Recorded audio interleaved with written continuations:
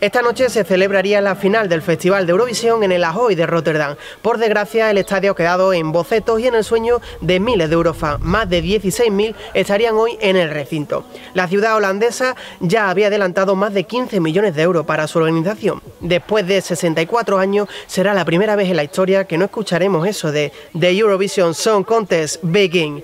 Tampoco conoceremos la puesta en escena, cómo quedaría Blas Cantó o los nervios de la votación. Según el representante español, ese año llevaríamos una de las puestas en escena más ambiciosas de los últimos 20 años. Por lo tanto, nos quedaremos con la duda de saber qué país se habría llevado el ansiado micrófono de cristal a casa.